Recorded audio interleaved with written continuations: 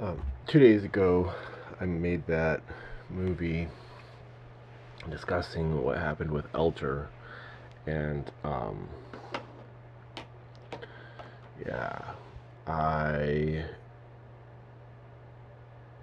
I got done with that movie and took a shower and uh, trimmed my hair and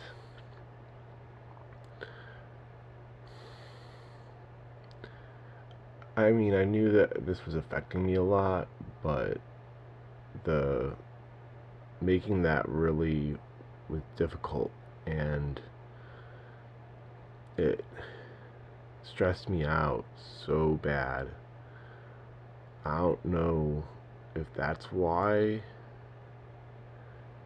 Uh, since then, I've just had the worst migraines. I mean, I woke up this morning with a horrible migraine. I took some medicine, and thankfully the medicine kicked in, so now I'm feeling a little bit better. But like, my head is pounding. Um,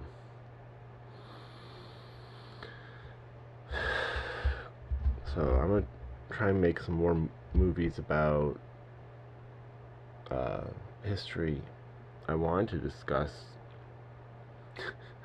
I was going to discuss the the role of hierarchy within history, uh, starting with the events of recent uh, events in the United States, and then go back from there, talk about Columbus and the institution of oh goodness mercantilism, capitalism, and the mentality that uh, individual choice can solve social problems when we do not have a complete worldview on how individual choice uh, interacts and forms the complex relationships of society.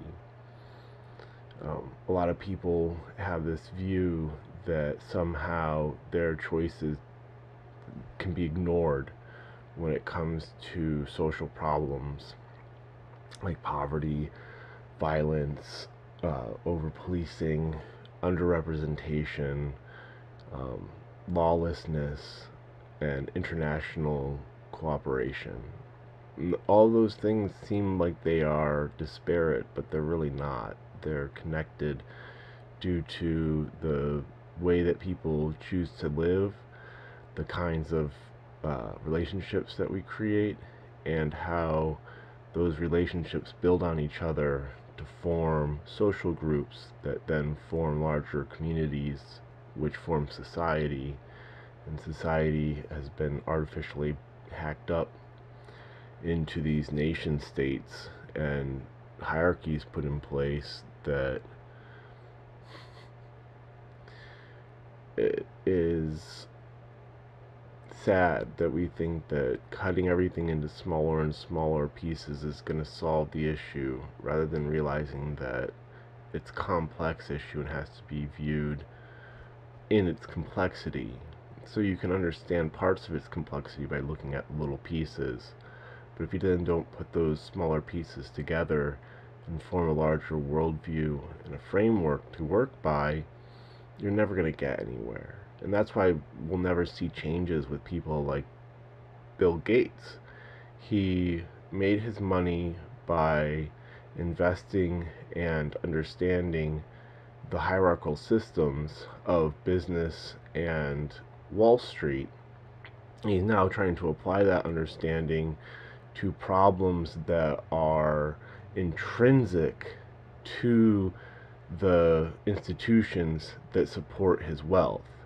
So the idea that he is somehow bringing new thought or or bringing in something good is just false on its face. He's simply scattering that mentality and using the top down mentality to try and solve problems that need to be solved bottom up. So you know, history can teach us a lot. And what it should teach us is to stop trusting these idiots. Because they're just lying to us. They're going to leave us holding the bill. All they care about is their own position, wealth, authority, and the freedom to feel good about using their wealth. And that's really what it's all about for Bill Gates, this whole humanitarian thing. It's about feeling good so that he can feel like he deserves what he has. Because he doesn't. None of them do. If they were to be honest with people, they would say, I knew exactly what was going on. I knew how the accumulation of wealth works, but because the system is there and I benefit from it, I have a mentality that it must exist and that its existence is somehow not in and of itself the problem.